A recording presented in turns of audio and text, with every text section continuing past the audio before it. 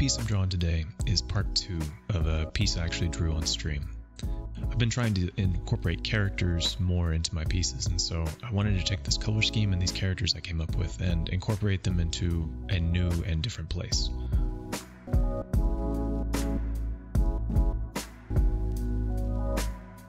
But now I'm just trying to separate the foreground and background and figure out what the different pieces of the composition are.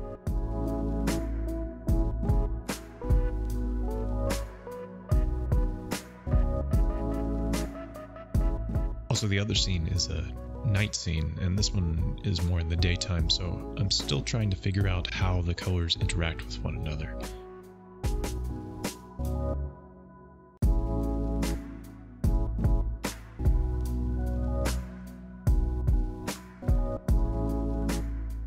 Just kind of adding some details in the foreground to make it not look so flat.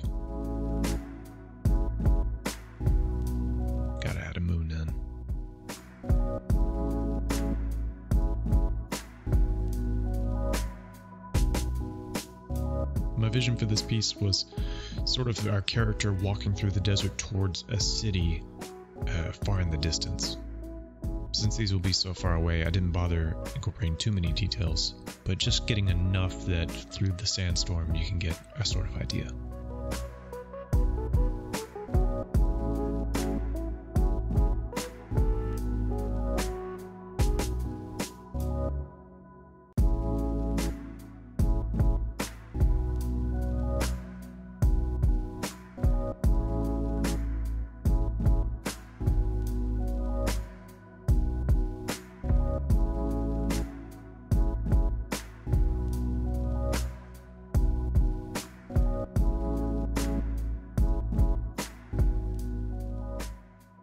Get this sandstorm kind of look, we take just a solid shape and apply a Gaussian blur to it.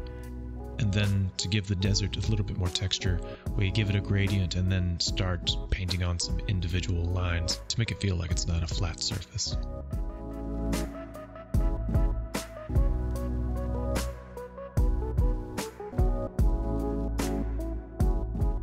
Now that we have our environment in place, I want to start adding objects to it to make it feel sort of realistic. So I imagine this kind of otherworldly tree that is kind of bent over but still alive.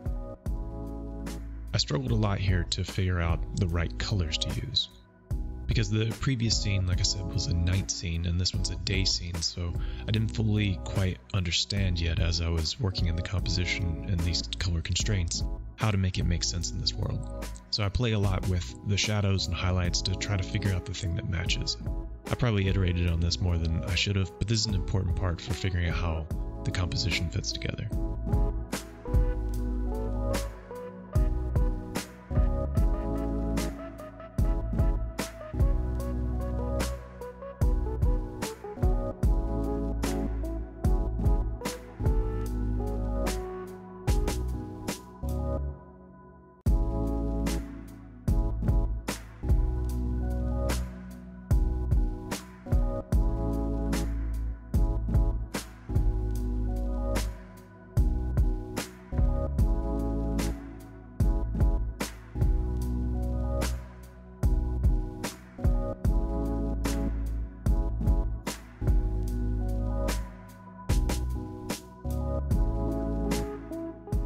Adding like a small rock nearby helps reinforce the idea that light is coming from a certain direction, so it helps us just sell the illusion we're trying to create.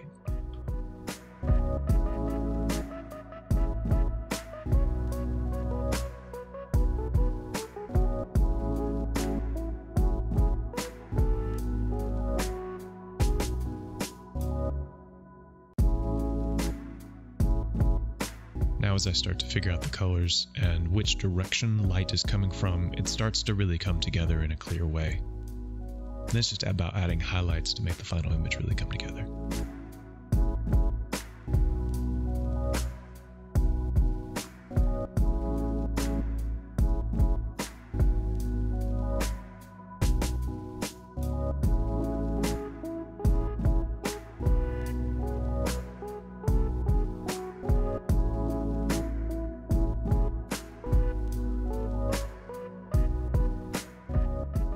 Now that I have this knowledge about where light's coming from, I start applying those rules to other things that I've already drawn so it looks more clear. I don't really know how to draw a horse very well, so I always go to Unsplash to get royalty free images to use as references, especially when I'm working with natural things or anatomy where I'm just not as comfortable. So I have this image of a horse here that I'm sort of referencing. I'm not really tracing it, I'm just trying to get the idea of how proportions and legs of animals move. And for me, when I'm working with vectors, it's more about just getting the initial points down, because after that, it's more about sculpting the shape into the way that you want it. Like this leg is way too small, but I get it together.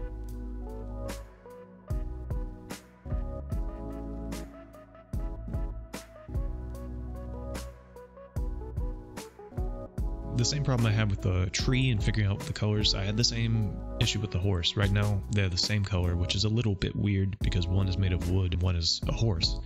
So that doesn't really work. So it took me a while to figure that out. Started adding in the shadow. Now that I understand where light's coming from, it was more about just taking the shape and then casting a shadow. It still was kind of tricky to make all the lines line up correctly and make it look realistic. And I don't even know if this is technically correct, but eh, it looks good.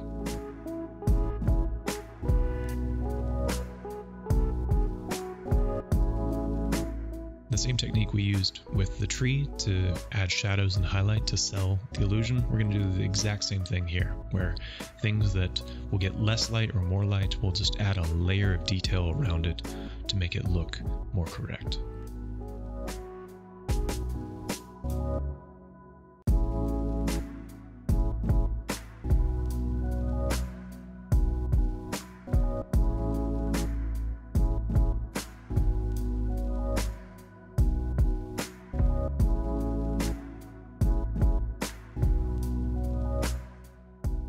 Starting to fiddle with the colors and figure out uh, which one actually works. And I go through a bunch of different iterations because I know it's not supposed to look like wood. And after jumping around between all the possible permutations, I eventually find this one that makes a lot of sense. This horsehair you wouldn't really even see from the final composition, but it's just a little bit of like cross hatching almost to give it some shading.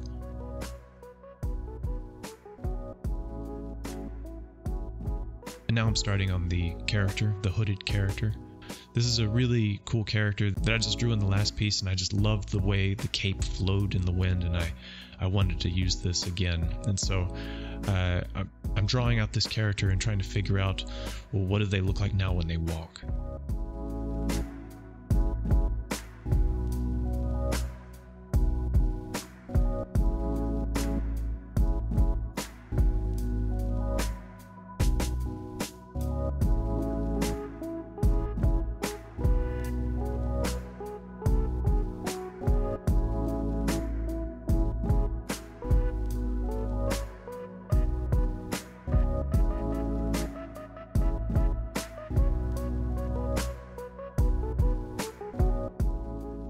Adding some details to the character, like a belt and, and the shadows and highlights on on their clothes. And making them a little bit taller. They were a little short before.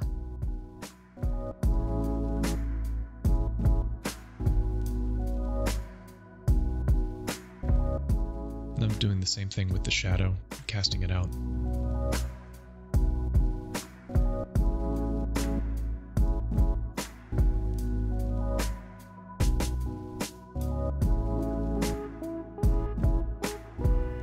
Decided that the character was kind of missing an element on their person, so I gave I gave the character a sword.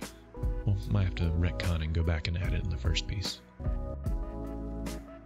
Here I added a bunch of footsteps, and I realized I put in way too many, and so I ended up deleting a bunch and then uh, scaling them up a little bit.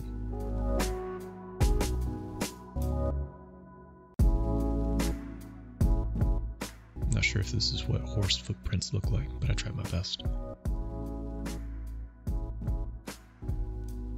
just fade those out further they get away.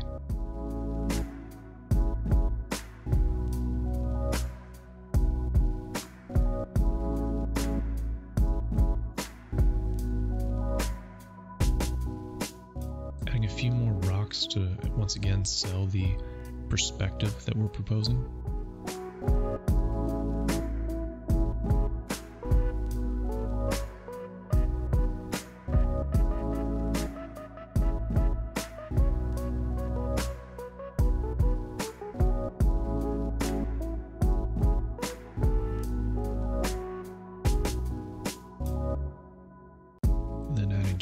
More details in the foreground.